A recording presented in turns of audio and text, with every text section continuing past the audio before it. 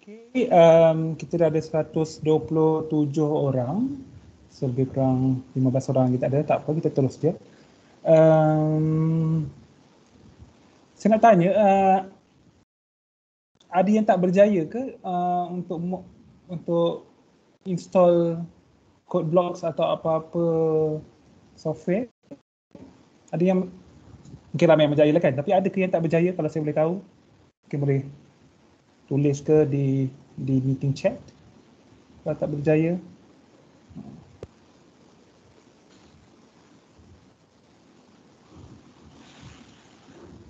Oh, semua berjaya ya?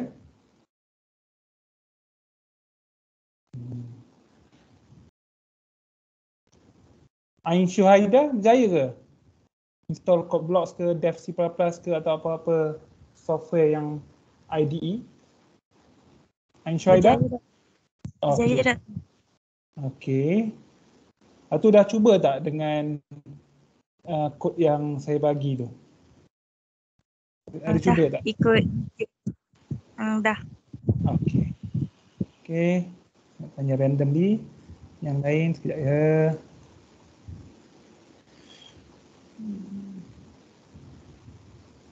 Uh, okay. Cheng Wen Bin?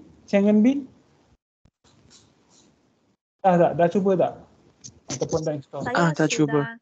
Oh, okay. Okay lah, baguslah begitu eh.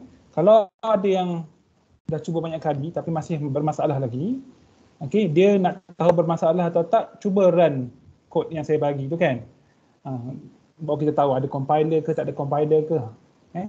Jadi kalau ada masalah, uh, hubungi saya lah email saya okay, dan bagi tahu apa yang masalah apa yang awak hadapi. Okay. So saya nak share screen.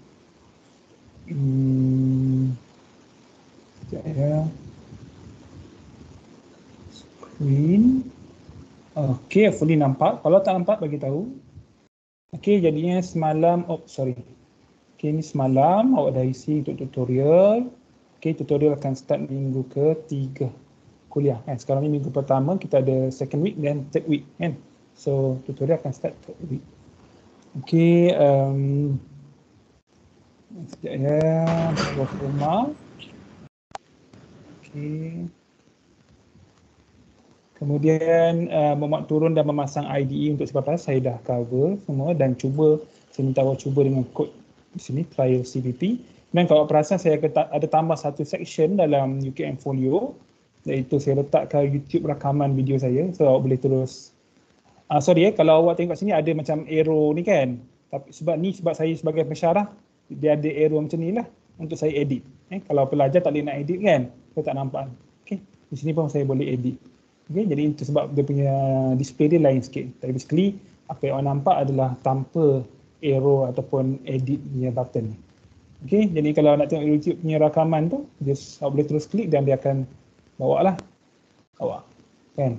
Kemudian uh, ada terpulang lah nak subscribe ke tak nak subscribe ke kan. Uh, tapi basically kalau awak pergi kat saya punya channel, okay, bukanlah saya nak promote pun, tak kisah pun kalau awak tak, tak, nak, tak nak tengok pun sebenarnya. Eh, pergi pada playlist.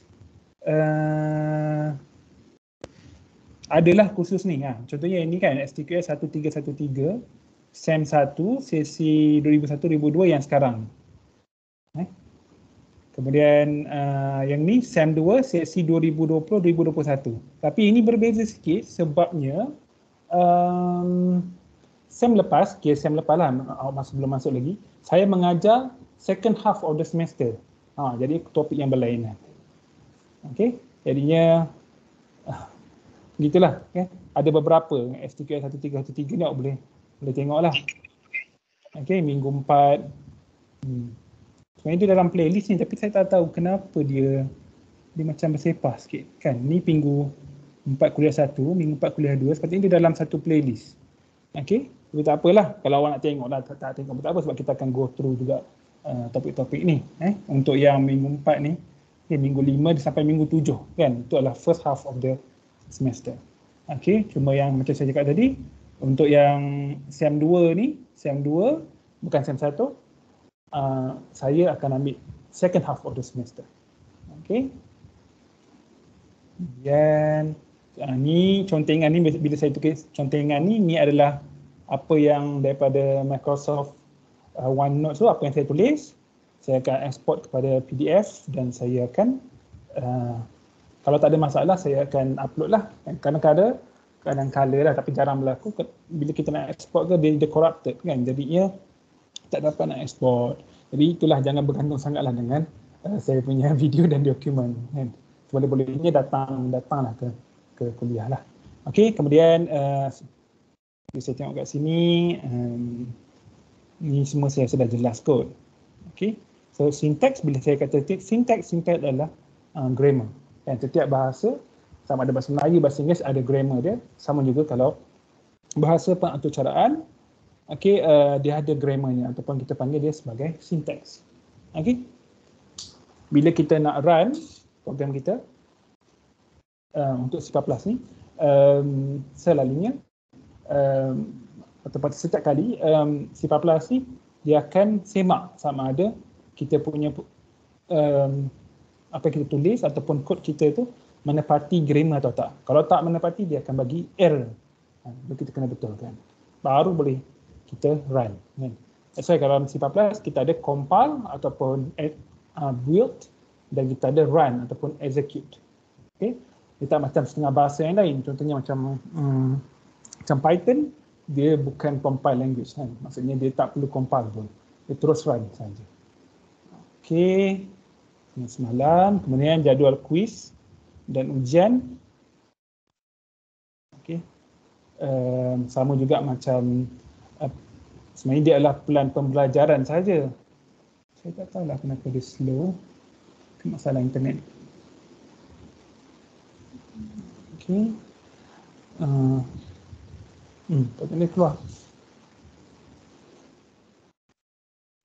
Okey. Uh, sekejap ya kalau saya ada kalau kalau tak clear ke awak boleh terus cakap ataupun boleh type dekat dekat meeting chat. Okey. Okey, ni adalah jadualnya. Okey, macam saya tunjuk. Okey. So ni adalah apa yang saya akan ajar. Okey. Uh, kemudian file input output ni sebenarnya ada dalam topik di belakang tapi saya bawa dia di depan. Okey. Dan P1, P2 dan sebagainya. Okey. Jadi jom kita masuk ke uh, topik satu. Eh, topik satu ni, oh sorry saya kena tunjukkan. Uh, topik satu ni adalah pada di sini. Eh. Dalam kursus ni semalam lah kot. Eh. Kemudian kepada komputer dan elemen-elemen asas bahasa C++. Okay. Jadinya uh, slide, sebenarnya saya tak guna sangat slide ni pun saya tak guna sangat pun uh, tapi saya letak je dia sedikit sedikit guna untuk awak uh, ya. kemudian uh, satu lagi nota eh? Nota eh sorry inilah jadi saya download dekat sini kan jadi uh, versi yang saya guna dan versi yang awak dapat adalah versi yang sama okey uh, Ni simple je. Okey, kita tak tak tak bagi guru pun. Okey, uh, ni notanya. I'm sorry, ni adalah slide. Okey, awak boleh tengok kalau awak nak. Okay, so basically kita ada element of a computer system. Okay, computer is an electronic device. Um, so ada pelbagai function lah untuk untuk get input data ataupun untuk display result ataupun output untuk simpanan storage kemudian untuk lakukan arithmetic and logical operation untuk this market personal computer are sold with hardware description kan kalau kita beli uh, kita guna apa ni Intel uh, kita dapat kan ni yang lama punya lah Pentium 4 ataupun sekarang mungkin kita ada i5, i7 dan sebagainya kan okay, kemudian ada 1 gig RAM dan uh, monitor dan sebagainya lah Okey dan jadi di sini komputer ni dia ada di sini dia akan ada software dan juga hardware lah. Okey. Uh, ni adalah hardware. Kemudian software tu adalah seperti operating system, games, application software, words, processor dan sebagainya. Jadi katalah awak um, um, ada komputer, okey dan komputer tersebut mungkin um, slow sebagai contoh kan tak laju kan. Jadinya tak semestinya awak kena beli. Mungkin dia adalah masalah hardware kan masalah uh, dia dah lama ke kan uh, ataupun uh, mungkin awak kena mungkin awak tukar kepada SSD ke mungkin dia lebih laju. Okey tapi kali juga bila komputer awak sebenarnya dia slow contohnya komputer yang agak lama kemudian nak install Windows 11 kan contohnya spek jadi ini dia tak dia tak dia tak mampu lah sebab besar sangat kan? Uh, jadinya um, bila berlaku begitu tak semestinya kita kena beli uh, komputer yang baru kan? Bila komputer slow janganlah terus nak beli komputer yang baru kan? Okay, mungkin kita boleh gunakan uh, operating system yang lain. Contohnya uh, kita guna Linux. Okey contohnya uh, jadinya uh, Linux jadinya dia boleh boleh bantulah untuk performance uh, uh, komputer awak. Eh, sebabnya di sini komputer kita ada hardware dan software. Bila bermasalah mungkin dia masalah hardware ataupun mungkin dia malas, masalah software saja. Jadi kita hanya perlu uninstall dan install semula. Itulah. Okey, jadinya untuk hardware kita ada contohnya kita ada CPU, uh, main memory, MM ataupun dipanggil RAM, uh, input device, kita akan jumpa banyak kali input device ni contohnya keyboard, mouse, Kemudian output devices, contohnya screen, printer dan secondary storage. Yang ni nota ni kan saya dah upload kan. Jadinya uh, awak boleh tengok. Boleh baca sendirilah. Okay, jadinya CPU ni adalah yang paling penting. Okay, dia ibarat otak kan, brain of the computer. Kemudian main memory, MM ataupun RAM, random access memory. Okay, they connected directly to the CPU all program and data must be loaded into main memory before they can be executed and manipulated. Kan, bila computer turn off, everything in memory is lost. Jadinya dalam kita buat C++ ni, uh, kita akan buat coding nanti. Uh, jadinya uh, code tu, uh, bila kita tutup saja code block sebagai contoh, kita punya um, data ataupun apa yang kita simpan dalam code tersebut akan hilang. Itu apa yang kita akan uh, itu biasalah kan? Um, tapi nanti uh, macam saya tunjukkan dalam uh, di sini okay, kita akan belajar file input output. Yang mana segala coding yang kita buat nanti kita akan simpan di dalam file. Ya, file apa? file tu boleh jadi yang paling ringkas mungkin uh, file .txt uh, text file contohnya. Okay? jadi kita boleh simpan. Ataupun kita ada data kita nak baca data tu disimpan dalam uh, dalam file txt jadi kita nak baca dia. Okay, jadi kita boleh gunakan apa yang kita belajar di sini nanti untuk untuk baca. Okey. Um, ya. Okey secondary storage dan sebagainya. Okey secondary storage ni contohnya hard drive okey biasanya kalau komputer-komputer yang lama dia HDD lah hard disk drive kalau yang baru solid state drive ni. Eh, kesan kalau SSD ni kalau komputer yang baru tu tengok dia tulis SSD kan. Okey, dan dia lebih lebih uh, supposedly lebih laju daripada HDD. Benda lebih mahal lah. Okey, kemudian kita ada external hard drive, uh, pen drive, apa, flash drive, CD-ROM and tapes ni mungkin awak, awak tak guna kot dan kebanyakan PC pun ataupun laptop tak ada uh, apa ni, uh, reader ataupun driver untuk untuk untuk CD-ROM dengan tips tips hmm. itu tak ada memang, tak ada pun daripada dulu kan. Okay software okay kat sini lah. Software are program written to perform specific task okay for example Microsoft Word dan sebagainya. Macam semalam saya dah tunjukkan kalau kita ada file .docx kita boleh gunakan contohnya Microsoft Word untuk baca ataupun mungkin kita boleh guna LibreOffice kan WPS Office dan sebagainya ataupun kita gunakan uh, Google Doc pun boleh. Okay, sistem programs um, untuk operating system uh, penting sebab tanpanya komputer is useless. Eh? Nak boleh tengok lah. Okay, uh, mungkin um, ramai dah tahu topik ni tapi kita just go Eh, uh, just go through. Uh, let me uh, quickly lah. Okay, um, when you press A on your computer, the computer display A on the screen. But what is actually stored inside the computer's main memory? What is the language of the computer? Okay, walaupun uh, kita kita katalah kita tekan A pada keyboard kita, tapi apa yang difahami ataupun apa yang digunakan dalam komputer kita bukanlah huruf A tapi dia akan combine ataupun sorry dia akan tukar dia akan jelmakan ataupun transform kepada apa yang dipanggil sebagai machine language ataupun uh, bit iaitu sequence of uh, 0 and 1 kan dulu kita kat sekolah saya ingat kita ada belajar asas 2 kan? Asas 2 dia ada nombor 0 dan 1 jadi itulah yang sebenarnya digunakan dalam komputer eh? jadi kat sini uh, satu bit bermaksud kosong atau satu. Okay. So satu byte ada 8 bits. Eh? Okay. 8 bits adalah satu uh, byte lah. Maksudnya kalau kita ada uh, sekejap ya di sini. Okay. Kita ada 8 ruang. 1, 2, 3, 4, 5, 6, 7, 8. So, saya tulis eh, di sini. Oh, tak perlu telefon.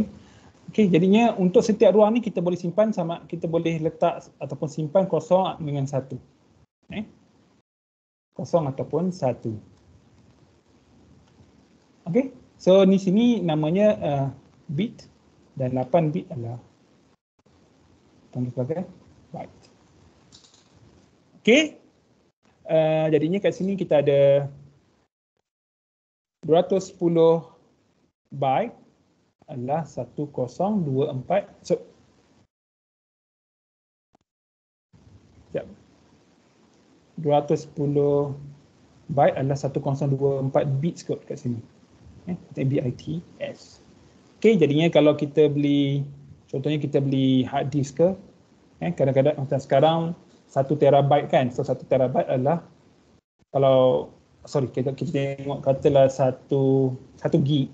Okey? 1 gig, 1 giga, 1 gigabit, sorry, 1 gigabyte adalah dia bukan 1000 megabyte ataupun senang cerita kita tengok kat sini kita ada 1 kilobyte eh 1 kilobyte bukan 1000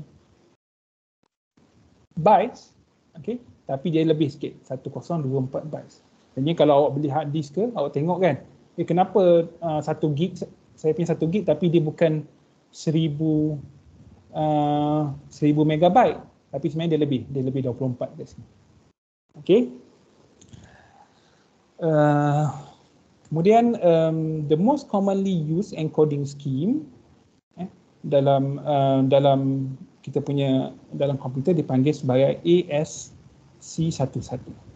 Okey yang mana dia ada 128 karakter number 0 through 107. 127. Maksudnya kat sini macam ni. Katalah kita ada huruf A dekat kita punya keyboard sebagai contoh. Okay, kita type A, A apa yang kita faham. Tapi sebenarnya disimpan ataupun digunakan dalam komputer dengan nilai 1000001. Eh? Jadi in fact A, maksudnya uh, yang ni, dia adalah nombor ataupun karakter ke-66 dalam ASCII Character Code. Eh, ASCII ni inilah American Standard Code for Information Interchange. Eh.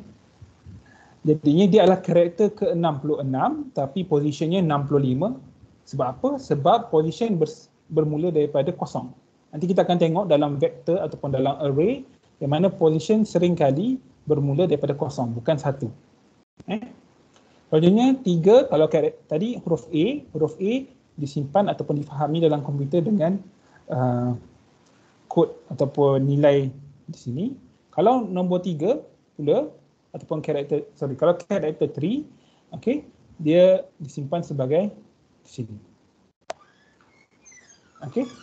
Jadinya semua A ke 3 ke ataupun yang lain-lain semuanya disimpan dalam bentuk 0101. Eh? Jadi ini jadual dia saya letak dalam nota ni. Awak tak perlu hafal pun sebenarnya. Okey, jadinya beginilah. Kita ada let's say kita ada A tadi. Okey. A. Okey. Position pada A adalah 65. Okay. Sebab kita start daripada kosong 1 2 3 4 kan. Sampailah 65 dan nilainya dalam komputer tersebut sebenarnya bukan 65 tapi adalah 0.5 dalam bentuk sequence 01 iaitu 1000001. Eh? Gitulah. Okey. Kemudian kita boleh sebenarnya kita boleh darab kan kita tengok di sini eh. So saya nak tulis A kita ada A ataupun dia punya nilai kat sini 100 patutnya tak ada kosong kat depan tu tak perlu pun 100 uh, 0001 kan? Jadinya kita nak uh, kita nak nak tahu dia punya position dia okey? Kita ingat balik asas 2 kita kita boleh convert kepada asas 10 kan? Ni adalah asas 2 kan? Base 2 kita convert pada base 10 so sini adalah 2 kuasa 0 2 kuasa 1 2 kuasa 2 2 kuasa 3 4 5 6 Ah betul lah kat sini. 2 kuasa 7. Okay, tapi depan ni kita tak pakai lah. Kita ada 1, 2, 3, 4, 5, 6, 7, 8. Betul ke saya nak tengok balik? Uh, 1, 2, 3, 4, 5, 6, 7, 8. Okey betul. Okey, jadinya uh, kita dapat nilai dia iaitu 1 kali 2 kuasa 6 yang lain kosong kan? tambah 1 kali 2 kuasa kosong. Okey. 2 kuasa 6 dapat apa? Apa buat eh? Uh, 64 tambah 1 dapat 65. Kan? Betul ke? 2 kuasa 6 64. Okey, 65 jadi position dia adalah position 65. Okey, so sama juga yang lain lah. Jadi kat sini kita akan tengok nantilah uh, mungkin bersama dengan sorry mungkin bersama dengan. Sakin nanti awak akan tengok uh, bagaimana kita manipulasi position uh, untuk uh, code ESC II ni okay, dalam uh, dalam looping sebagai contoh ataupun untuk bandingkan string.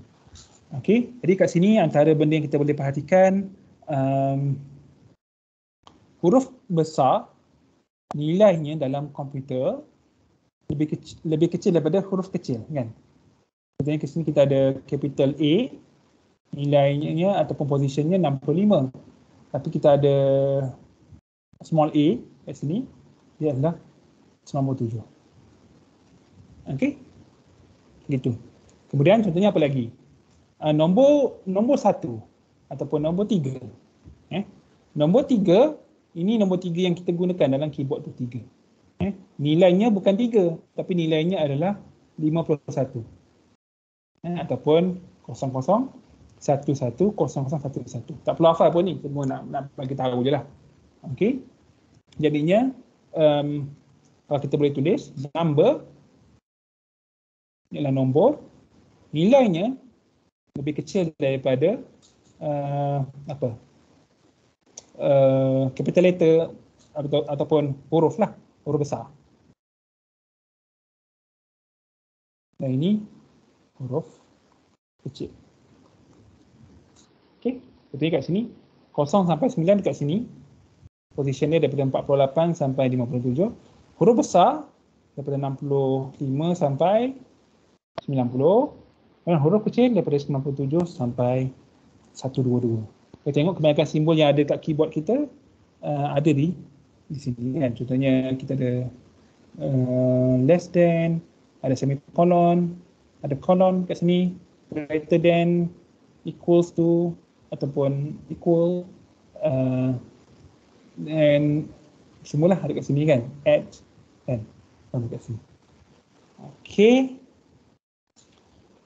okey ni untuk compiler.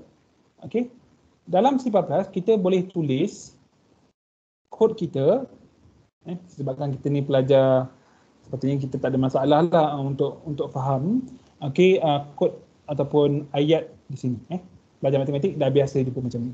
Okay. kalau pelajar yang lain mungkin dia uh, masa semester 2 saya ajar pelajar yang lain. Uh, maksud saya pelajar biokimia bioinformatik dengan dengan satu lagi saya tak ingat. Uh, jadi pelajar-pelajar tu pelajar yang baik biologi atau chemistry kan mungkin dia kurang kurang mahir. Setengahnya lah bukan semua pun. Eh, mungkin kurang mahir dengan formula-formula kan tapi ramai je yang yang yang biasa kan di peringkat sekolah dulu. Jadinya dalam C++ kita ayat seperti ini ataupun statement seperti ini adalah valid. Eh? Kita boleh gunakan, tak ada masalah kan. Wages uh, equals to rate time hours kan. Kat sini um, asterisk ataupun star bermaksud kali. Eh, jarak. Okey. Adanya maksudnya pendapatan ataupun gaji sama dengan rate mungkin uh, kadar kadar gaji per hour hourly rate times dengan number of time ataupun number of working hours. Okay. So ni adalah satu ayat um, yang mudah untuk kita faham. Okay. Jadinya this instruction actually written in C++. Maksudnya kalau kita copy paste dalam C++ dalam code blocks kita dia boleh faham tak ada masalah. Eh? And indeed it is much eh, easier to understand. And is self-explanatory kan. Maksudnya kita tengok dah tahu dah. Uh, apa maksudnya. Okay. Jadinya uh, to run this code on computer, this C++ instruction first need to be translated into machine language kan? Dalam bahasa komputer lah. Kan? Sebab komputer sebenarnya asalnya tak faham benda ni. Jadi dia perlu ada translator. Translator tersebutlah sebenarnya apa yang dipanggil sebagai compiler. Eh, which um, responsible to translate this instruction okay? Uh, which is in high level language iaitu C++ into the low level language iaitu kita kata bahasa komputer, machine code ataupun binary itulah. Okey. Jadi kat sini wages ni W pun ada dia punya uh, code dia, kan? A pun ada. G ada. E, e ada. Semuanya ada. Setiap karakter dalam ni semuanya perlu ditranslate ataupun mempunyai nilai lah dalam dalam komputer. Jadinya compiler yang akan tolong translate. Kalau tidak, kita kena buat satu-satu. W ni apa? 01000. E ni apa? Star ni apa? H, O, dia sangat panjang. Kan? Jadi kita perlukan satu uh, entity ataupun apa yang sebagai compiler untuk tolong translate. Okay, so the programming language C++ evolved from C and was designed by Jan Strostrup at Bell Laboratories in early 1980s. Kan tak ada lama sangat, lebih kurang 40 tahun eh. Okey. Jadi siapa yang nak belajar C dia akan dapat uh, kena pastilah banyak persamaan. Cuma ada juga perbezaan lah. Okey. Kemudian ada pelbagai sebenarnya standard okey untuk 11 tapi kita fokus kepada apa yang diluluskan oleh ANSI ISO. ANSI ni adalah American National Standard Institution ISO adalah International Standard Organization apa yang dipanggil sebagai ANSI ANSI ISO Standard C++. Okey. Okay, jadinya awak boleh baca yang ni. Okey, boleh tak perlu hafal pun sebenarnya yang uh, yang especially yang table ni lah. Yang lain-lain tu awak kena mungkin ada yang kena kena mungkin akan ditanya lah dalam dalam quiz bagi contoh kan. Okey. Tapi table tu tak ada apa-apa soalan ke dekat sini? Boleh tanya. Oh, sorry, pun. Uh, kuliah betul lah. Okay. Minta maaf saya keliru sikit sebab tadi saya ada uh, saya ada kuliah yang saya ada banking yang lain. Okey. Jadi ya, dia, ada buka dua Windows. Okey, uh, kalau ada apa-apa soalan ke boleh terus type kat sini, nak tanya pun boleh. Okey. Maksud saya nak nak terus cakap pun boleh. Kita tengok slide kita. Okey, lebih kurang sama lah. Hardware, software, kita RAM, CPU. Okey. Uh, okay, lebih kurang sama je. Sebab slide saya pun sebenarnya berdasarkan, uh, sorry, nota saya ber, sebenarnya berdasarkan slide di sini dan juga beberapa bahan yang lain lah. Okey. Boleh tengok. Ini pun lebih kurang sama kan saya ambil. Okey. Ini ada assembler kan assembler ni dia akan convert uh, sebenarnya lah uh, yang akan convert kepada machine language. Okay, sekejap ya. Saya rasa lebih kurang je. Okay, jadi kita terus pergi pada yang seterusnya. Ini pun saya boleh padam. Okay, yang ni awak boleh tengok. Okay, uh, why programming is important, why should I learn coding. Ini adalah video. Di sini adalah artikel web. Di sini adalah what is C++, is introduction and history, 6 minit punya uh, watch. Okay, then top 10 reason to learn C++, and sini 6 minute videos, sorry 9 minute videos, what, where C++ is used, why dan C++ programming language. Lebih kurang sama je tapi terpulang pada awak nak tengok yang mana. Okay, kemudian kita tengok elemen asas C++. Okay.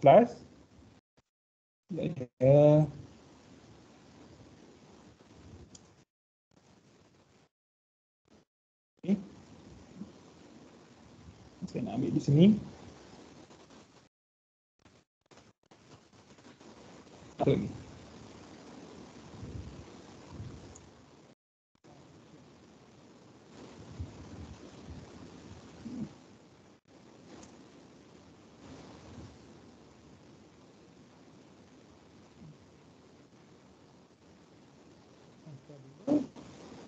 Antara tiga basic element. Okay, ini slide saya buka just in case kita perlukan dia.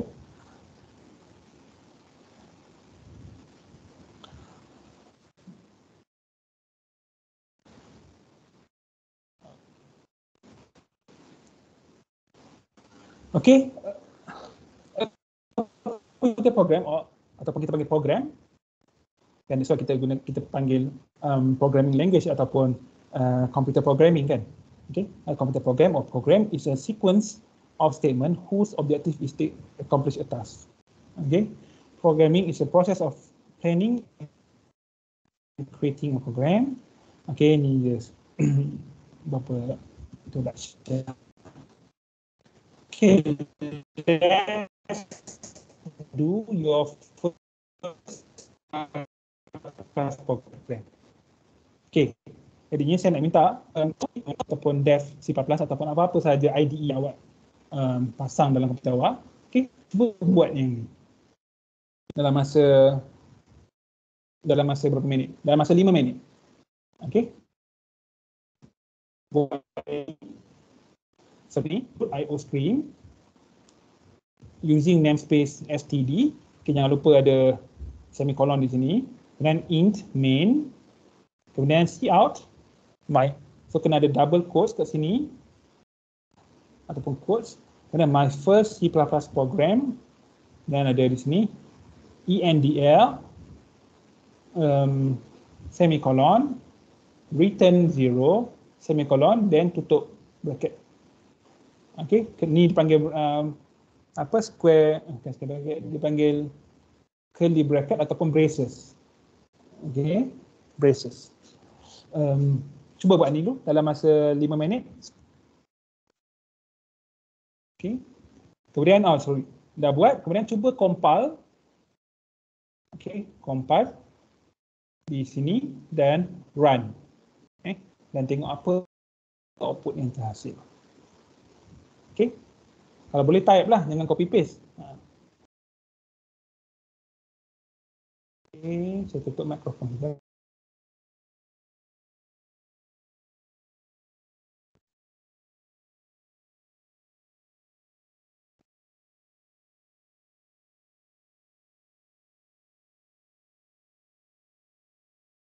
Alia Kristina. Dapat ke? Dapat output dia tak? Uh, belum lagi tengah try. Okay.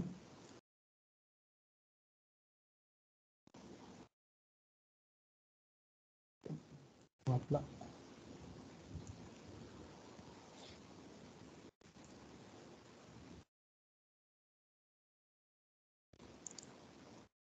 Ada yang ada masalah tak? Uh, mungkin boleh kongsikan uh, bersama dia kata no such file or directory. Sama. Sharon Selvi pun sama. Okay, yang lain ada masalah yang lain ke? Oh, sama juga. Saya pun. Ha, okey. Yang lain? Okay, saya nak kecilkan sikit ni supaya saya boleh view uh, sini juga. Ada masalah yang lain juga?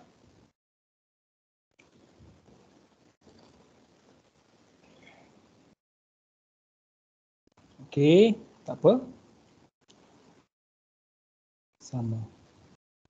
Okey, jadinya kita cuba tengok apa saya buat. Okey, jadinya saya dah buka dah code saya tadi. Uh, Okey, di sini. Okey, jadinya di sini awak boleh boleh nak pangkal. Eh, bila awak buka ni code block lah. Maka, kemudian awak nak buat satu file, sama ada awak boleh klik kat sini, new file. Okey, boleh awak boleh nampak eh, kalau tak nampak bagi tahu saya new file, boleh klik kat sini, dia akan keluar terus. M, jadinya ambil empty file. Gini. Ataupun kalau tak nak, awak boleh pergi dekat, let's say katalah awak tak, tak prefer macam tu, awak pergi dekat file, kemudian new, empty file. Sama juga. Ataupun awak boleh guna shortcut tadi, kan? Okay, selalunya program ini kita nak cepat, jadinya, sorry. Maknanya kita kena hafal sedikit lah shortcut. Contohnya kalau nak baru, empty file, tekan Control Shift N, jangan lepas.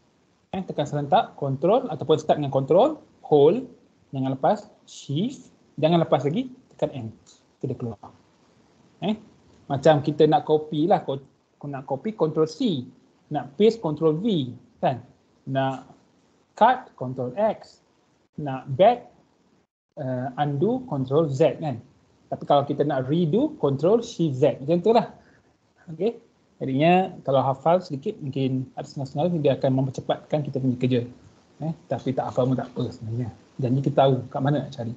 Jadinya yang paling penting adalah kita mula apa-apa pun kita mula dengan include ataupun kita save dulu. Eh, begini, kita save dulu file kita. Ini saya buka di sini file save file as. Okay, then saya pilihlah saya kat mana saya nak letak. Okay, let's say saya letak dekat saya punya Dropbox. Okay, ni rahsia sulit saya ni. okay, tak adalah. Okay, Dropbox, ni kursus kita. Bahan kuliah contohnya. Kemudian saya nak buat folder uh, minggu satu. Sekarang ni minggu satu, kuliah dua. Kuliah kedua kan. Okay, kemudian saya nak simpan dia uh, code. Code plus plus macam tu. Kita code. Okay, kat sini dia akan suggest nama untitled tree.c. Tapi kita bukan buat C, kita buat C++. Kan? Jadinya mungkin saya nak buat, saya nak namakannya apa? Uh, code 1, code 1, code 1 je lah. Okay, dot C. Tak boleh C. Sorry. Kita kena buat dot C PP. Eh, C++. Ha, jadi uh, banyak pelajar yang ialah baru belajar kan yang tak pernah ada pengalaman uh, dia dia simpan macam .c saja terus enter kan masih terus save. Jadi bila run tak boleh. Eh, jadi kita kena .cpp kita save. Okey, jadinya kat sini terus tukar nama code 1.cpp. Apa kita nak buat adalah kita akan mula menaik. Jadi yang pertama sekali selalunya adalah include. Sorry, kita kena buat uh, di sini ni tanda pagar ni kan include IO stream. Nanti kita akan belajar IO stream kita ada F ataupun file stream dan sebagainya. Jadinya untuk permulaan kita terima lah dulu kan. I stands for input, O stands for output dan stream ni adalah aliran tu lah. Okay, nanti kita akan kita akan tengok. Ni masalahnya akan ada. Kemudian kedua using namespace std. Kemudian kita letak tanda semicolon eh. Sebab yang atas adalah dot, yang bawah adalah uh, koma, so dipanggil semicolon lah. Kalau koma, kalau dua-dua dot dipanggil colon, eh, kalau satu saja dipanggil semicolon. Okay, selalunya ada. Kalau tak ada pun tak apa sebenarnya, tapi bila kita ada using namespace std, std ni, baris nombor dua ni, dia lagi mudahkan kerja kita. Okay. Yang ketiga, kita letak int. Ini maksudnya adalah integer. Main adalah function main. Kenapa function? Sebab dia ada tanda dua kat depan. Nanti kita akan nanti awak akan kalau kita sempat kita akan pergi minggu ke-7 belajar pasal function. Kalau tidak Dr. Sakinah akan ambil ni. Eh, untuk uh, maksudnya bila topik Dr. Sakinah bila Dr. Sakinah mengajar nanti dia akan perkenalkan function ni kepada awak. Okey? Jadinya di sini namanya main function. Kemudian kita enter. Okey, enter kemudian kita letak uh, curly bracket ataupun braces eh braces eh jadi kan ejaan ni. Braces ataupun curly bracket kita buat dia akan automatic keluarlah uh, satu uh, permulaan dan perakhirannya kan. Kemudian um, di sini saya nak type apa? See out. Okey see out. Okey see out ni sebenarnya untuk kita keluarkan dalam kita punya screen. Eh screen hitam nanti kita akan tengok eh bila kita nak display apa-apa benda mesti kita kena gunakan see out. Okay. See out. Kemudian ini adalah aliran stream dia. Eh, maksudnya see out ni adalah tempat maksudnya macam nak cakap maksudnya kita supply kita punya uh, output nanti kepada see out. See out dia akan bawa kepada screen kita nanti. Okay. Kemudian apa yang kita nak buat adalah kita nak type hmm, sekejap ya.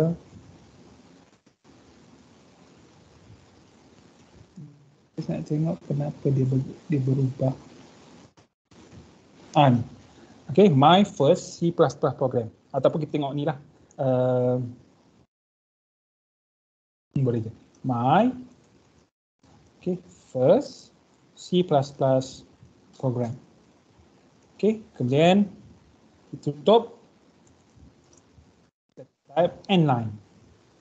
Tak ada n line ni pun tak apa. en DL ni maksudnya end line kan penamat kepada baris nombor 5 kan ENDL ataupun penamat baris. Memang tak ada pun tak apa tapi nanti saya akan tunjukkan. Okey, kemudian kita enter. Kemudian kita type return 0. Kenapa ada return? Nanti bila awak belajar function ni awak akan tahu. Setiap function dia kena function yang sebegini dia kena ada return. Return 0. Okey.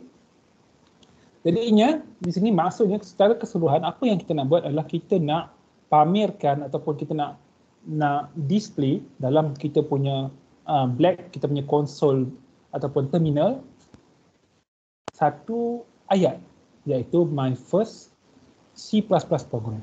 Itu saja. Kan? Tapi in order to display this sentence ataupun kita panggil string okay, kita perlukan benda-benda lain ni kan? Kita perlukan kita kata prerequisite kan?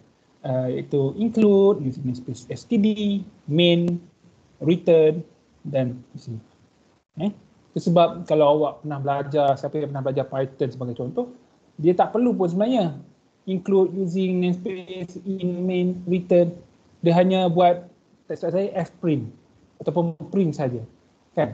Sangat ringkas. Satu baris saja dah boleh dapat output. Tapi yang di sini dia, dia panjang sikit. Okay. Apa kita nak buat? Kita nak, kita dah tulis kod kita. Macam saya cakap semalam. Okay, kita dah ada kod. Uh, sini kita write our codes. Ataupun Kemudian kita nak dah sudah kita nak compile. Eh, ataupun setengah saya tak ingat kalau dev C++ mungkin dia guna perkataan build. Eh, di sini guna build saya rasa. Eh, kalau di sini build, ah, okay. Eh, kalau def dia gunakan compile. Mana-mana pun tak kisah. Okay. Kemudian lepas kita compile, kita akan uh, tekan butang di sini iaitu run. Eh. Ataupun uh, kalau dalam saya ingat def C++ dia gunakan perkataan execute. Eh, mana-mana pun tak apa. Tak ada masalah. Okay, sini. So jadi kita tengok kejap kita punya folder hmm, sini uh, bahan kuliah ini kod. Okey. Ni kod kita dalam folder kod 1 C++. Okay. Ini apa saya nak buat? Saya nak run. Sorry, saya nak saya nak build ataupun saya nak compile dulu. Saya compile. Okey. Dekat sini dia ambil masa sikitlah. Okey, dia bagi tahu kalau kan di sini ada banyak banyak tab kat sini kan. awak boleh tengok dekat uh, build log dia bagi tahu ataupun dekat build messages. Eh kat sini dia bagi tahu tak ada error. Kan? Maksudnya kat sini secara grammar ya betul. Kan? Tapi adakah kod ini akan buat apa yang kita nak kan what we intended to do. Kan? Tak semestinya. Kan? Kita pun tak tahu. Kena run baru kita tahu. Tapi sekarang ni hanya uh, grammar checking. Okay? So, secara sintaknya tak ada masalah. Kan? Tapi adakah apa yang dicakapkan contohnya kan? Grammar dia betul tapi dia cakap aku pun tak faham kan? Contoh macam itulah ha, so begitulah kan? Grammarnya betul. Ha, tapi adakah apa yang dia lakukan apa yang kita nak sama dengan apa yang kita nak jadi kita kena tekan uh, run. Okay.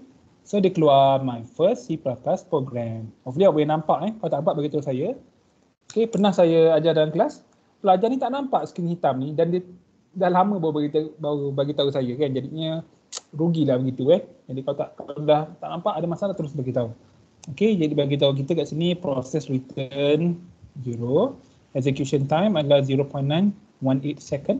Press any key to continue. Kalau kita tekan enter dia akan terus terpadam. Okey, so kita dah So, oh saya lupa pula.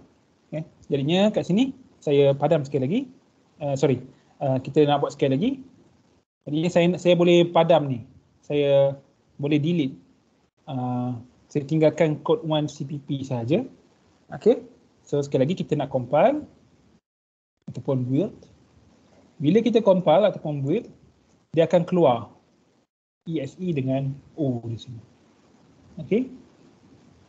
Dan kita run. Okay, dia akan keluarlah begini. Okay, kita boleh tekan enter untuk padam. Then, kalau macam ni, kita boleh kita boleh tekan run ataupun execute ni banyak kali, tak ada masalah. Okay. Ataupun kita pergi kat folder kita ni, kita boleh Eh sorry, sekejap. Ya, ya. Luar. Tapi tak apa. Ah, abaikan ayat, ayat saya yang tadi tu. Okay, maksudnya kat sini awak boleh terus uh, uh, run ataupun uh, execute banyak kali. Tak ada masalah. Okay. Jadi ini kod uh, pertama. Um, macam mana yang yang tadi tu uh, boleh ke? Kan ramai yang ada error ni kan. Boleh ke kalau cuba buat uh, cara macam saya ni? Okay. Dapat tak? Ataupun masih error lagi? So saya bagi masa dalam seminit, dua minit.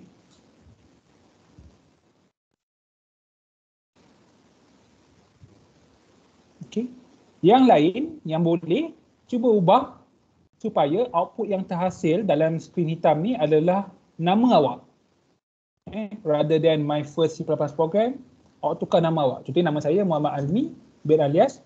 Saya letak, jadinya macam mana saya nak ubah kod ni supaya dia menghasilkan nama saya. Ha, ini senang, ya kan? Okay.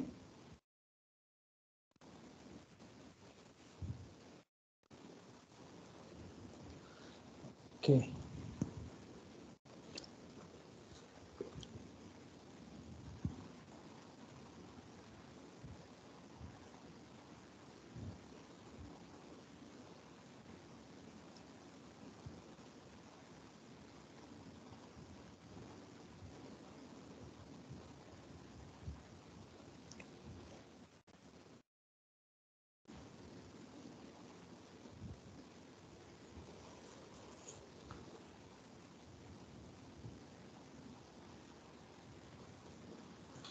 Macam mana Siti Asia Khalid dapat ke?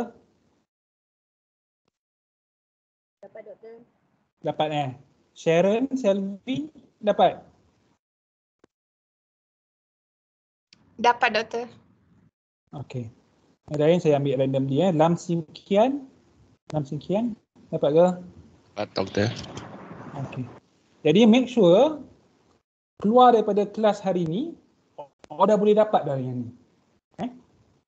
Jadi jangan jangan buang masa lah sebab mungkin pada permulaan ni kita agak slow sebenarnya, agak perlahan kan. Sebab ramai mungkin yang tak biasa.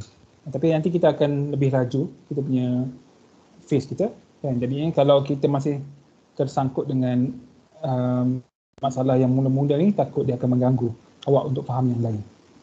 Okay. Doktor bila tekan build tak ada kod just kod one je. Tapi boleh dapat output tak Sharifah Nur Ain ni? Boleh dapat screen hitam tu tak? Dapat. Eh. Ha. Mungkin dia hidden kot. Hmm. Tak pasti. Okay. Mungkin saya boleh tunjukkan juga kalau guna dev C++. Uh, sekejap ya. Saya minimize semua ni. Ataupun sini. Ada. Okay, ni saya tunjukkan dev C++. Siapa yang dah tengok video saya semalam mungkin dah agak familiar. Jadi kat sini saya boleh sama juga file, new, okay, empty file ataupun source file. Ini kat sini. Dan apa saya nak buat, saya saya boleh ambil je kat sini. Saya copy dan saya paste. Okay. Kemudian apa saya nak buat, saya nak simpan dia. Uh, simpan. Hmm. Ya, ya. Hmm download.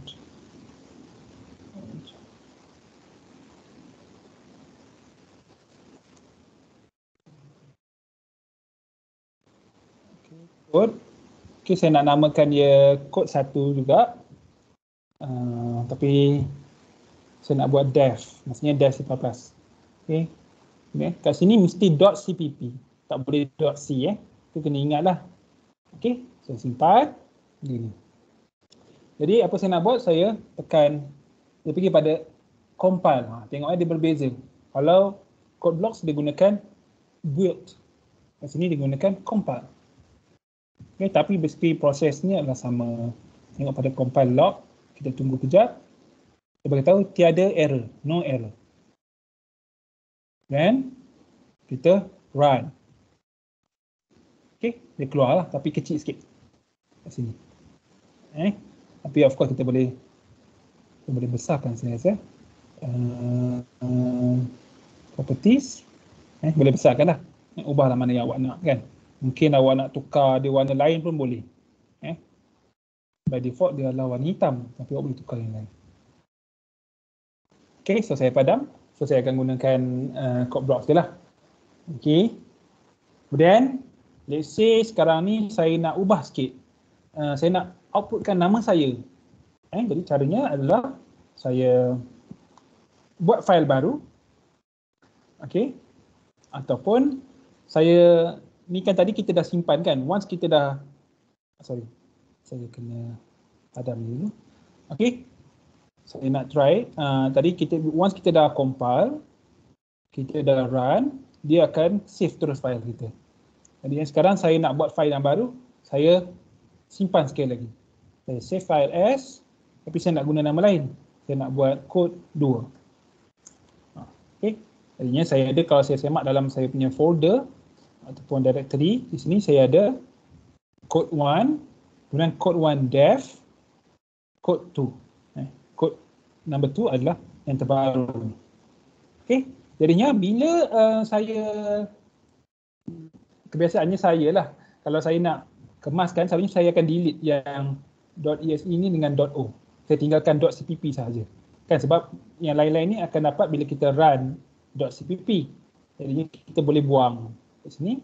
Kita boleh yalah delete saja, remove ke delete ke. Tak ada masalah. Okay. Tapi yang .cpp kita kekalkan. Sama juga kalau macam bila saya hantar tugasan ke dulu-dulu lah. Kan bila saya nak hantar tugasan ke ataupun saya nak berkongsi kod saya dengan kawan ke, saya hanya perlu hantar yang .cpp sahaja. Kalau saya hantar yang .exe dan .o tu dia akan ada ada masalah sikit dalam attachment. Ataupun dan sebenarnya kalau kita hantar .cp lagi senang lah sebab satu file je kan. Jadi yang lain tu tak payah hantar. Okay. Begini, saya nak tukar sekarang nama saya. Kan, saya nak dapatkan output nama saya. Jadi saya tukar je lah yang di tengah ni. Eh, Muhammad, nama saya lah kan. Awak tukar ikut nama awak. Yes, macam tu. Okay. Dan saya compile ataupun saya build kat sini. Sorry. Tak ada error. Eh which is good. Then kita run. Kita run ataupun kita execute. Okay Muhammad Almi bin Ali ini nama saya lah. Kan jangan dalam komputer awak awak taklah nama awak, tak ya guna nama saya. Okey. Okey. Kita kita uh, build, compile and run the code. What do you see in the black screen is called output statement. Kan? Apa yang kita dah dapat tu adalah output dalam screen hitam tu. The program will evaluate the expression after the symbol and display the result on the screen. Maksudnya hanya yang ada dalam selepas di sini, selepas uh, uh, dipanggil apa eh? Um, insertion, extraction operator, extraction operator kat sini. Okay, hanya yang di sini saja akan di di di uh, akan diproses. Eh?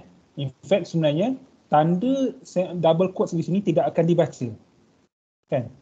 Kalau kita tengok pada output kita, double quotes di situ tak ada. Yang ada hanyalah apa yang berada di tengah-tengah. Okey. Mungkin awak pun perasan, eh, bila awak tukar, dia tak keluar. Kemudian saya tanya satu lagi, uh, di sini, how do you change the output to hello world? Eh, ingat tak kod yang saya bagi semalam? dia punya tengah-tengah sebenarnya kod dia sama je cuma tengah-tengah ni adalah hello. Kalau awak pernah belajar programming ataupun next time awak belajar programming, kebanyakan yang pertama dia akan minta bagaimana untuk awak output hello world. Uh, dan di sini kita belajar my first C++ program. Kan? Tapi sebenarnya kalau bahasa-bahasa yang lain pun selalunya dia akan mula dengan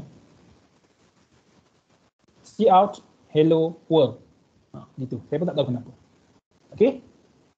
Jadi kat sini uh, kita boleh buang ENDL. Eh, kita boleh buang ENDL.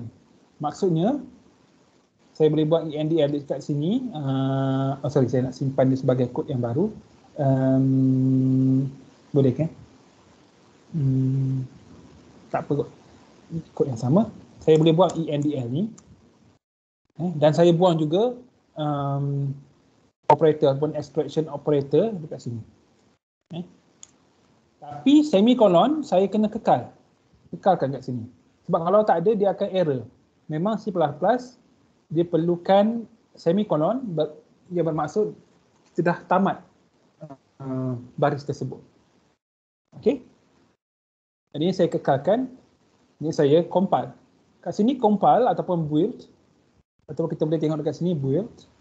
Dia ada dia punya shortcut dia iaitu control awak tekan butang control dekat uh, left, bottom left dekat keyboard awak. Kemudian hold, jangan lepaskan. Kemudian tekan butang F9. F9. Kemudian dah sudah run. Run, control, hold. Eh, jangan lepaskan. Tekan F10. Okay.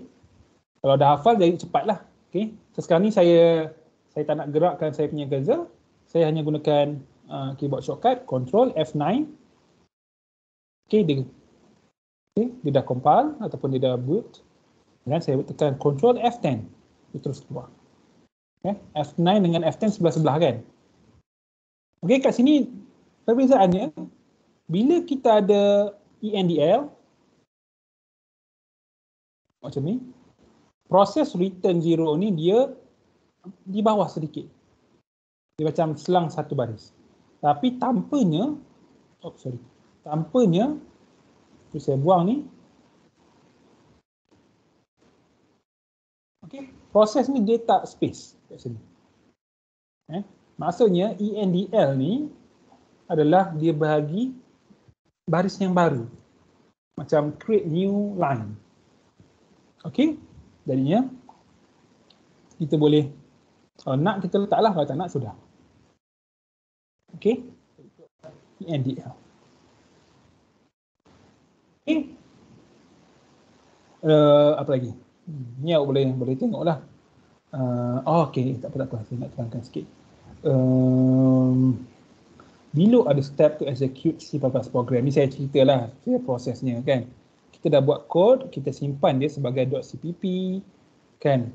Kemudian preprocessor ni, uh, directive iaitu di sini dan compiler compiler kita namanya GCC sebenarnya dan compiler pada C++ namanya G, G++ eh?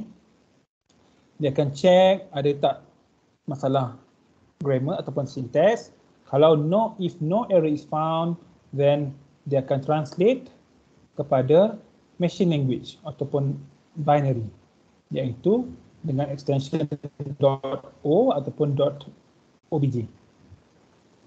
Kemudian step 4 ada panggil sebagai linker. Ni pun tak ni tak tak tahu sangat pun tak apa sebenarnya. Ni hanya penerangan saya je lah.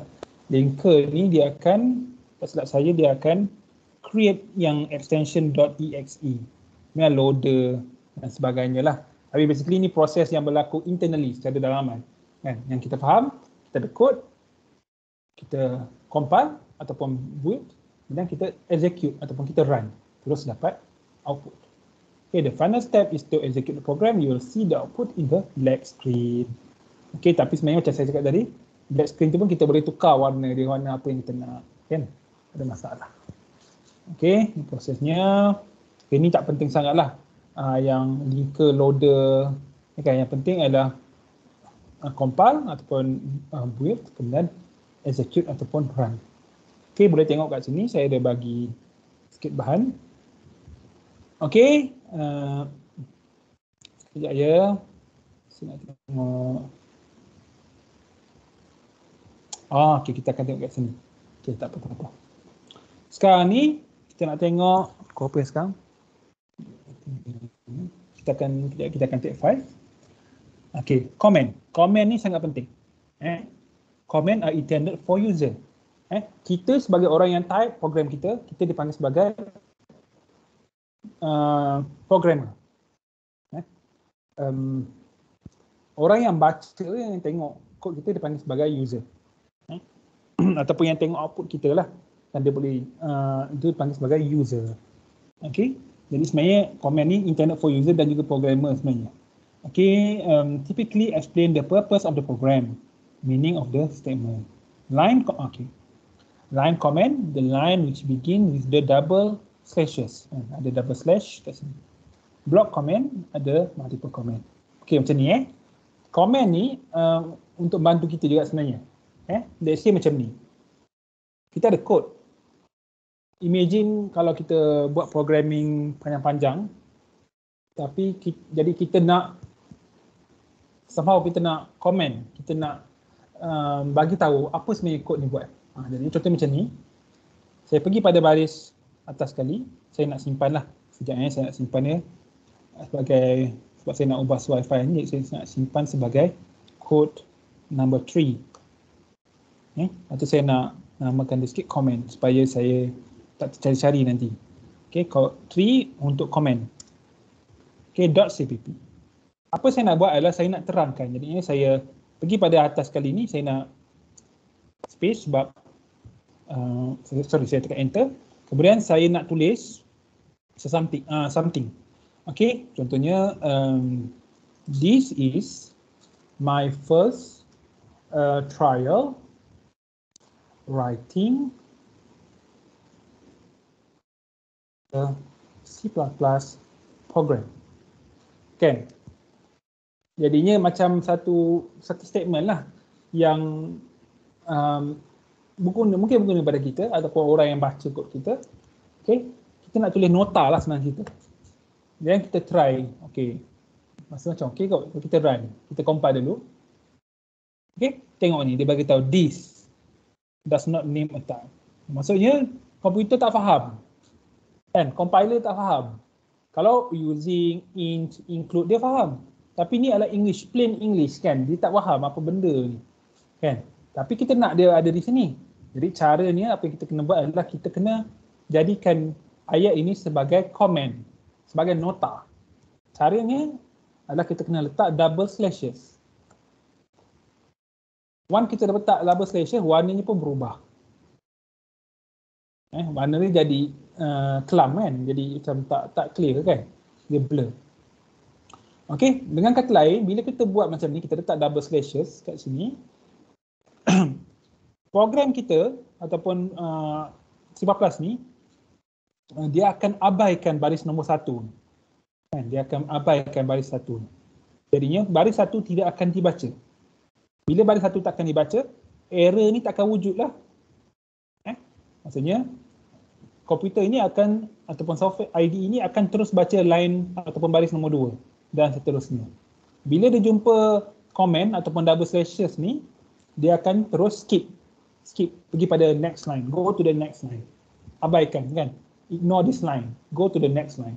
Gitu eh. Jadi kalau kita compile ataupun build, okay, error tu dah hilang. Okay, dan kita run. Sama je. Tak ubah apa-apa pun. Eh? Begitu. In fact, code ataupun komen kita boleh letak dekat mana-mana. Eh, contohnya kat sini, saya nak letak pada baris nombor 6, saya nak letak komen lagi. Jadi saya buat double slashes, begini, uh, begini, kemudian saya nak komen apa eh? Uh, display my name ataupun the code ataupun the line below will display my name. Betul. Kan, mungkin ni membantu untuk orang yang tak tahu. Contohnya orang negara, apa ni? Kan, apa objek atau apa string ni kan? Kalau kita orang Malaysia mungkin kita tahu, oh ni nama orang ni. Kan? Tapi kalau orang luar negara mungkin tak tahu, oh ni mungkin apa benda tah kan? Nama bangunan ke, nama jalan ke kan? Tadinya kita bagi satu nota, satu komen supaya oh orang, tak, orang tu tahulah, orang yang baca ni tu tahu, oh uh, yang ni adalah untuk nama dia. Eh, jadi kita letakkan komen kat sini. Okay, so bila kita run, kita sorry kita build ataupun kita execute, error tak, tak ada error. Okay, dan kita run. Okay, so sama macam tadi. Tak ada masalah. So itu dinamakan sebagai line comment. Okay, so kita take five kejap. Eh, sekarang kalau jam saya, kita pukul 3.11, kita akan sambung, sorry 3.12, kita akan sambung dulu. 3.18 kita akan sambung. Okay, untuk yang seterusnya. Okay. Thank you.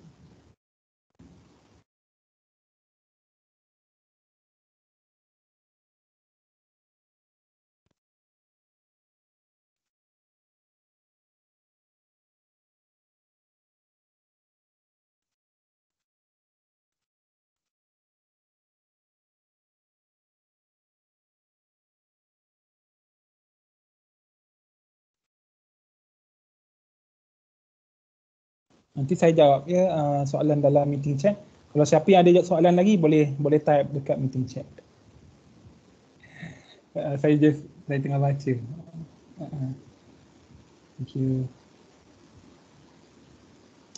Okey, dah 3.18. Saya tengok soalan kejap. Uh, bila saya compile dia keluar nombor 9 bawah 8. Saya tak faham sangat. Tapi basically um, saya ingat kalau pergi dekat code blocks tu mungkin ada Hmm. Dia dekat setting kan. Compiler kadang-kadang dia kena tak tahu lah macam kena refresh. okay. Bila G, GNU, macam saya punya lah GNU si patas GCC compiler. Okay. Oh, okay. Okay, awak try. Okay, kadang-kadang awak kena restart balik awak punya code blocks. Okay. Kalau tak boleh mungkin kena uninstall Okay. Cuba compile. Okay. So, kalau tak boleh juga guna sementara tu guna def C++ ke dulu ya nanti boleh kita boleh figure out macam mana nak nak gunakan code blocks nak nak berjaya nak jayakan guna code blocks. Okey. Yang lain ada soalan ke? Macam ada nak cakap tadi? Uh, doktor, saya nak tanya boleh? Ya, ya sila.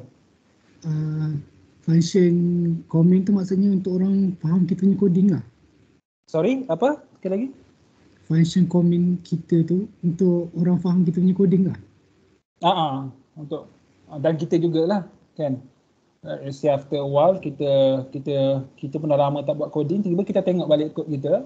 Imagine kalau awak ada programming contoh project nanti kan dengan Dr. Sakina, saya rasa seingat saya macam pelajar-pelajar yang buat projek dengan saya SEM lepas uh, dia macam ni kita ada 10 baris je kan bila buat projek tu dia besar dia sampai beratus-ratus baris eh?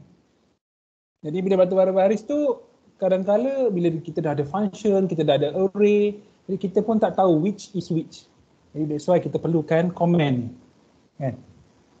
Untuk bantu kita sendiri sebenarnya untuk faham kita punya code. Okay. Okey, terima kasih doktor. Hmm. Nanti uh, di, apa ni?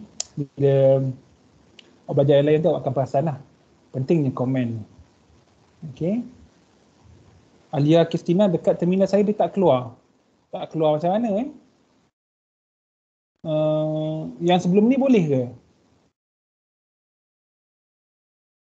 Yang kalau kita gunakan contohnya yang kod satu tadi. Oh sorry. Saya bukan nak ni saya nak buka open kod satu. Eh hmm.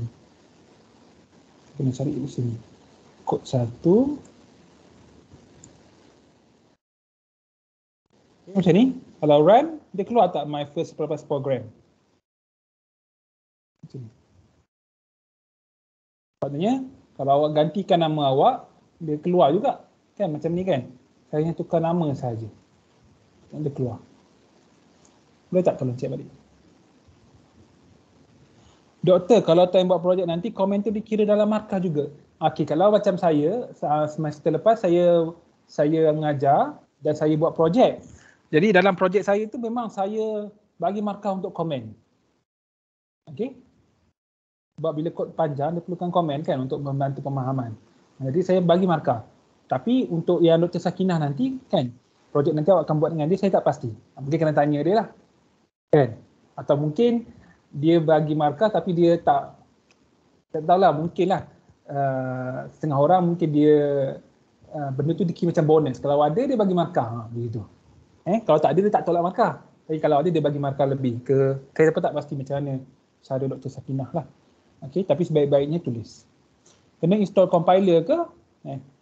Ya memang kena. Tu sebab masa install uh, code blocks tu macam ni eh, saya nak buka kejap. Uh, uh, masa kod install code block tu saya minta supaya uh, ah, macam ni kan? Uh, ada ke eh? code block saya minta supaya awak ambil uh, installer yang ada yang ada MingW tu. Eh? Macam ni. Sebab MingW tu adalah dia punya compiler dia. Dia ada compiler lah. Okey jadi perlu ada uh, macam ni kan kalau let's say awak ambil yang tiga atas ni awak hanya install code block saja. Dia punya IDE saja tapi tak ada compiler. Tapi yang ada MingW ni dia ada uh, compiler compiler lah. Eh? Jadi kalau tak ada compiler ni awak tak boleh nak run. Okay. Kalau ada soalan terus tulis kat sini je. InsyaAllah lah kalau ada masa kita kita akan uh, Inilah saya akan jawab lah. Okey. kemudian so kita teruskan dengan kita punya ni uh, nota ni. Okey, yang tadi kita tengok dipanggil sebagai line comment. Eh, satu baris saja untuk setiap komen. Di sini sama. Tapi boleh jadi kita nak buat lebih. Kan? Contohnya kat sini uh, kod nombor 3 saya nak buat, saya nak simpan, saya nak buat kod nombor 4 code 4 untuk komen. Okey, kita saya dah simpan. Saya nak buat apa? Saya nak tambah lagi satu komen iaitu saya nak buat uh, the the line below will display my name. My name is Muhammad Almi dot dot dot lah sampai bawah. Okay. Jadi kat sini saya ada dua komen. Ah, sorry, dua baris komen. Kan? Begini. Okay. Jadi kalau saya run tak ada masalah. Sebabnya dua-dua baris ni kita dah letakkan double slashes. Okay. Jadinya baris 667 akan diabaikan oleh komputer kita. Eh, kenapa dia tak keluar? Saya kena compile. Sekejap eh. Saya compile. Saya guna shortcut eh. Saya guna keyboard shortcut. Jadi awak tak nampak saya compile. Tapi nampak dia punya output messages saja kat sini. Then saya run. Okay. So kat sini, walaupun saya tambah komen satu lagi, nombor tujuh, baris nombor tujuh, tapi dia tak ubah apa-apa dari segi output. Komen ni hanya orang yang nampak kod saya saja. Eh? Okey, gitulah. Jadinya kat sini, um, ini dinamakan sebagai line comment. Tapi bila dia satu dinamakan sebagai block comments. Okey, boleh nampak ya skrin saya? Kalau tak dapat bagi tahu. Okey, kita sampai block comment. Baru lagi ni. Kan banyak lagi sebenarnya. Okey, block comment. So, saya kena code. Dan,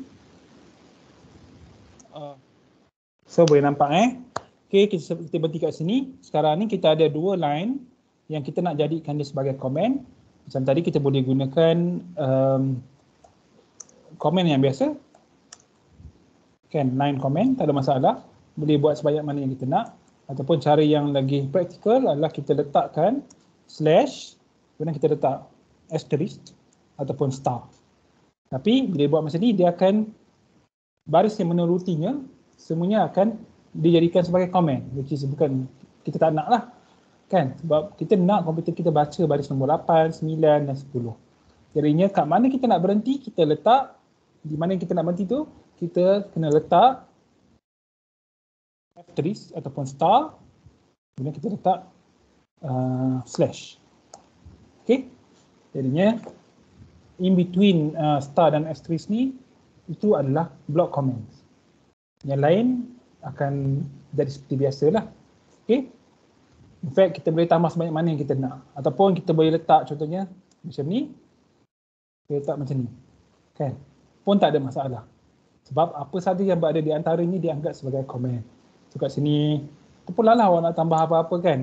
Uh, you can uh, use your name. Your own name contohnya. Uh, don't use my name contohnya kan. terpulang lah pada awak. Kan awak macam mana pun kan pasti apa yang ada di antaranya adalah dianggap sebagai komen begitu. Okey. Jadinya cara praktikal beginilah. Okey, nanti awak cuba sendiri. Okey. Untuk block komen tersebut. Kemudian di sini ada preprocessor commands. Okey, begin with the sign. Uh, di sini, tanda di sini. Okey, iaitu yang pertama sekali ini. Okay, jadi saya nak cuba uh, kalau kita tengok kod kita yang pertama tadi uh, kod satu okay, yang paling atas adalah kita ada preprocessor command. Kan? Selalunya bermula dengan benda, benda ni lah. Jadinya the include IO stream iaitu di sini. Okay, baris pertama will insert the library IO stream. Sebenarnya IO stream ni adalah satu library. Eh? Uh, yang mana um, IO stream ni dipanggil sebagai header file. Because it's placed, always placed at the top or head of a C++ program.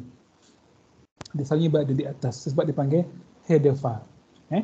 Jadinya IO stream ni adalah salah satu library. Nanti kita akan belajar macam mana kita nak guna library yang lain. Contohnya kita nak guna IO manip ataupun CMath. CMath ni kalau kita nak buat operasi matematik, function, kita nak kuasa dua, kuasa berapa-berapa pun, punca kuasa, uh, sin ataupun trigonometric function, semuanya kita boleh gunakan dalam library CMath. Jadinya kita perlu import dia. Eh, CMath punya library ni dengan cara kita buat macam IO stream juga tapi kita letak kan dalamnya sebagai C C math. Okay, kita akan pergi later lah. Sekarang kita hanya terangkan tentang IO stream. Okay, IO stream apa dia buat? Dia membenarkan kita menggunakan C out. Eh, tanpa IO stream kita tak boleh guna C out. Tak boleh buat input dan output. Dan juga C in. Eh, chin kat sini kita panggil sebagai C in. C in ni adalah bagaimana kita nak ambil output daripada keyboard. Ha, nanti kita akan tengok lah ni menarik lah. Okay. Kemudian namespace. Eh, baris using namespace std uh, semicolon ni tak wajib tapi lebih baik adalah sebab dia membenarkan kita menggunakan cout endl tanpa perlu menambah perkataan sd std double, double uh, colon eh kalau kita let's say kita buang saya nak simpan kejapnya kat sini saya nak buat file yang baru let's say 1B Okay, let's say kita nak buang using namespace std ni, boleh, tak ada masalah. Tapi kalau kita run, eh, ha, dia, dia ada masalah dengan cout. Jadi kita kena tambah std colon dua kali. Jadi sebelum std, sebelum cout kita kena buat std colon colon. Eh? Kemudian kita compile sekali lagi. Kita compile.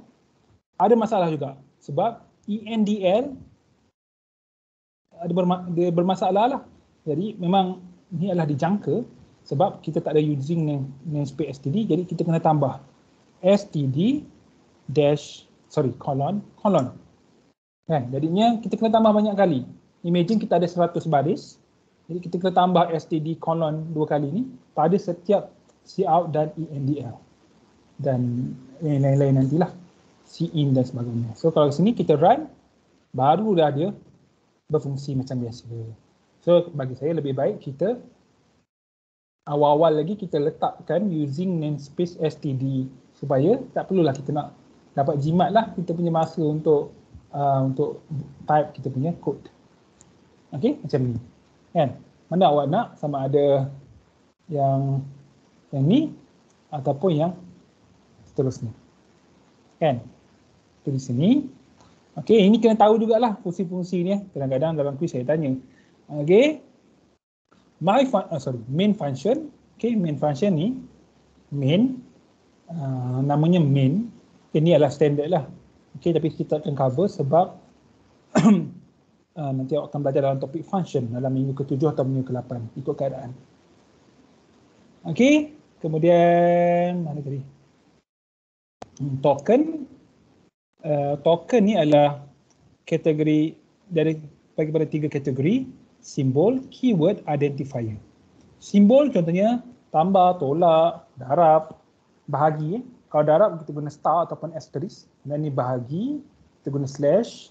Kemudian uh, nokta, semikolon, tanda soal, koma, less than or. Uh, ni adalah less than or equals to. Eh. Siapa yang pernah belajar, uh, tapi ni agak intuitif lah kan kita rasa oh ni logik lah kan dalam matematik pun macam ni lah lebih kurang benda ni apa? Ha, ni siapa tahu? kalau macam ni ni Not equal. Not equal betul. Not okay? equal. Not equal eh. Kalau not equal macam ni. Uh, tanda dia kena uh, saya tulis di bawah ni. Oh sorry. Tak perlu. Saya buat kat saya punya ni saja. Nanti kita akan pergi juga tapi just alang-alang kita dah nampak ni saya terangkan.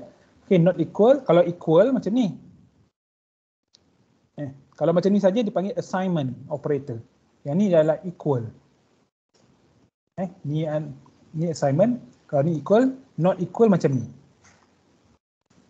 Ada juga dalam bahasa dalam scripting language contohnya MATLAB dia gunakan not equal dia macam ni. Not equal. Itu saya lah. Okay, tapi kita belajar dalam logik matematik ni memang not kan. Negation punya simbol kan. Okay, terpulang. Itu sebab kita kena tahu sinteks bagi sesuatu computer programming. Okay, ini adalah simbol. Eh, special symbol. Kemudian keyword. Eh, keyword ataupun sebenarnya dipanggil sebagai reserve word.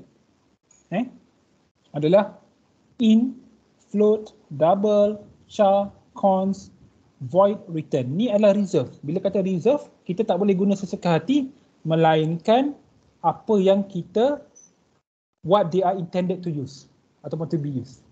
Okay, maksudnya macam ni. Return, int, using namespace, std, endl, ni semua adalah reserve keyword yang mana dia ada fungsi-fungsi dia sendiri. Kita tak boleh guna sebarang-sebarang. Nanti kita akan belajar variable yang mana variable ni berbeza dengan keyword. Okay. Dan uh, identifier. Yang kita ada simbol, keyword, identifier. Identifier ni adalah contohnya uh, name of things that appear in program such as variable, constant, function. Dia boleh jadi letter, digit, underscore dan sebagainya. Kan?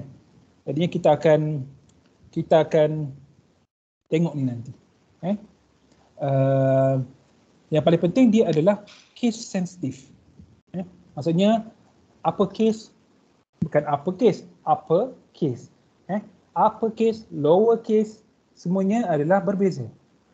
Contohnya di sini X, capital X tidak sama dengan X kecil. Kan? Kita ingat balik dalam jadual yang saya tunjukkan tadi. Okey, uh, okay. um, nilai capital X berbeza dengan nilai X kecil, small x, kan? dalam jadual uh, jadual binary. Okay? Jadi dengan kata lain, uh, C++ dia adalah case sensitive. Eh? Number huruf besar semua tak sama dengan number huruf kecil. Ini penting eh nanti bila kita nak buat program nanti. Okey. Kemudian uh, nanti kita akan tengok, saya rasa kita akan tengok uh, esok, uh, bukan minggu depan lah kita akan tengok variable declaration. Saya tak nak ajar dulu tapi saya nak tengok satu benda uh, last kali iaitu new line character or combining output statement. Okay, alang-alang kita dah buat tulisan, uh, kita dah tulis nama kita semua tadi kat sini kan. Okay, so saya nak padam ni. Oh, sorry. Saya nak padam juga. Uh, saya nak buat kod nombor 6. Okay, uh, saya nak save. Uh, file, save file as. Sorry. Okay. Multiple lines. Okay, bila awak namakan awak punya file, okay, awak uh, boleh-bolehnya connectkan dia dengan underscore ataupun dash. Eh sorry, uh, uh, apa ya, dash lah kan. Okay, gitu. Okay, so apa nak buat? Saya nak buat adalah Okay, katalah ni nama, sorry, saya nak buat lain sikit. University Kebangsaan Malaysia. Okay, okay ni hanya satu dipanggil string. Eh. Bila lebih daripada satu, nanti kita akan tengok nanti, bila lebih daripada satu karakter dipanggil string. So sini ada banyak, banyak karakter ni kan, banyak huruf ni. Kan? So memang automatically dipanggil sebagai string. So kita compile. Kita run. Okay, dia keluarlah as expected University Kebangsaan Malaysia. Okay, sekarang kita nak tambah. Uh, kita nak tambah sikit saja. Iaitu kita nak tambah alamat. Okay, macam mana kita nak tambah alamat? Kita copy semua ni letak je macam ni. See out. Okay. Mesti kebangsaan Malaysia. Ataupun, ha, ataupun saya nak tukar sikit. Jabatan Sains Matematik. Jabatan Sains Matematik. Universiti Kebangsaan Malaysia. Dan apa lagi? Uh, fakulti kot. Fakulti Sains dan Teknologi. Fakulti Sains dan Teknologi. Musim Bahasa Malaysia. Apa lagi? Uh, alamat dia. Siapa yang tahu? 43600 UKM Bangi. Um, Selangor Darul Ihsan. Selangor Darul Ihsan. Okey. Macam ni. Okey, jadi kalau saya run, saya dapat macam ni lah. Jabatan Sains Matematik, Fakulti Sains dan Teknologi, Universiti Kebangsaan Malaysia, 43600 UKM Bangi, Selangor Darul Ihsan. Okey, ini kita dapat penuh lah. Okey, let's say kita buang. Uh, kita buang, uh, saya nak simpan dia sebagai 6B. Okey, let's say kita buang ENDL. Kita buang EMBL, kita tinggalkan semikolon saja. Gini. Saya nak buang lagi. Ini pertama. Okey, selesai run. Okey, kat sini tak ada error. Eh, bila saya compile, okay, saya guna keyboard shortcut je, so tak perasan. Dia tak ada error. Okey, jadinya, oh betul lah kot kita rasa. Tapi betul ke dia akan hasilkan apa yang kita nak. Jadi kita cuba run ataupun kita execute. Okey, dia jadi macam ni. Jabatan Sains Matematik Fakulti dia bercantum. Eh?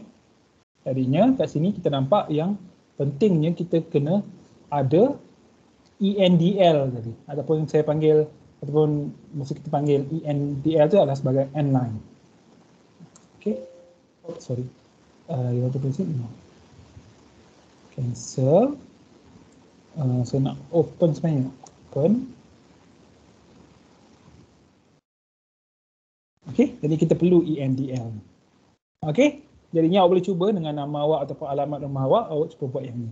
Nanti kita akan belajar macam mana kita nak ringkaskan ringkaskannya lah. Okay, supaya contohnya kita tak perlukan siap untuk setiap baris. Kan?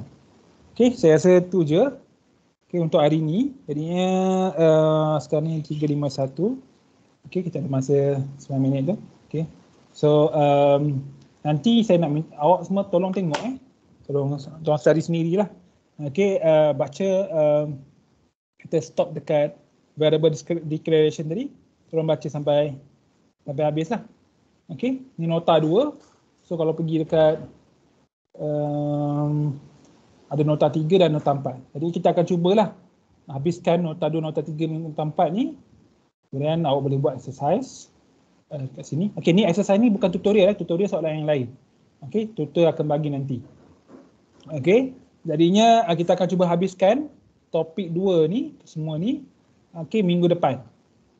Okay, memang kita akan ikut performa lah sebab performa kita kena habiskan minggu depan.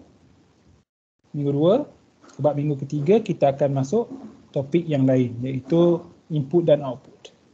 Okay, jadinya uh, tolong study eh. Kalau ada apa-apa soalan ke? Bantuan, memerlukan bantuan ke?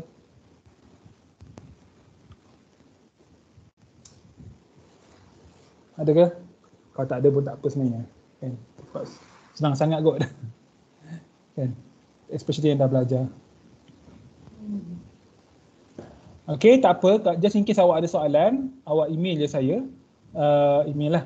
Okay, kemudian insyaAllah saya akan cuba upload uh, not, uh, yang saya conteng tapi sikit sangat dan juga video lah. Dan saya akan letakkan di UKM Folio dan juga saya akan email just in case ada pelajar yang tak dapat masuk dalam UKM Folio lagi. Eh? Uh, tu je kot. Terima kasih. Jumpa lagi.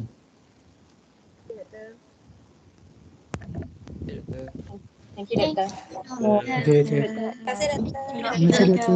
Thank you, Doktor. Thank you, Doktor. Terima kasih doktor.